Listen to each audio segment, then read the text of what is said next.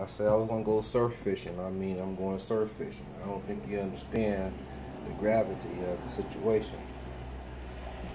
I'm not gonna just get out there and just go surf fishing. I need to work out. This is major fishing. I just started fishing a year.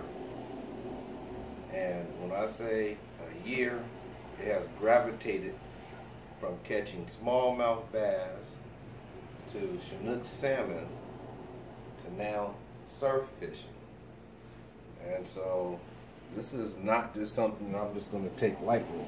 Now, YouTube is a good reference point, but I can tell you, I don't know if it's addictive or not because there's a lot of information out there, and the information that I've been gathering has been allowing me to seriously master a craft of major fishing. When I say I got my poles on deck, I got my poles on deck.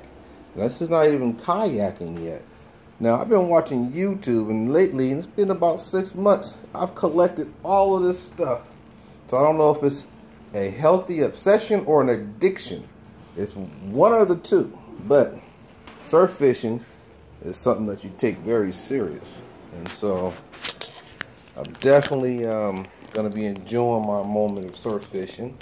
And uh, the equipment, uh, it's pretty good on deck. And so as I said, uh, I'm not to just get out there in that beach, play with those water waves, not knowing about sneaker waves, not being prepared for whatever it is that I need to be prepared for because this is a journey. My first year. I'm excited. I'll be hitting some of these beaches along the coastsides. And so I haven't lived wasting about three years. But this is what fishing will do for you. And so I'm excited. And So if I do this correctly, the end result will be you'll be seeing me at the beach surf fishing. Seriously.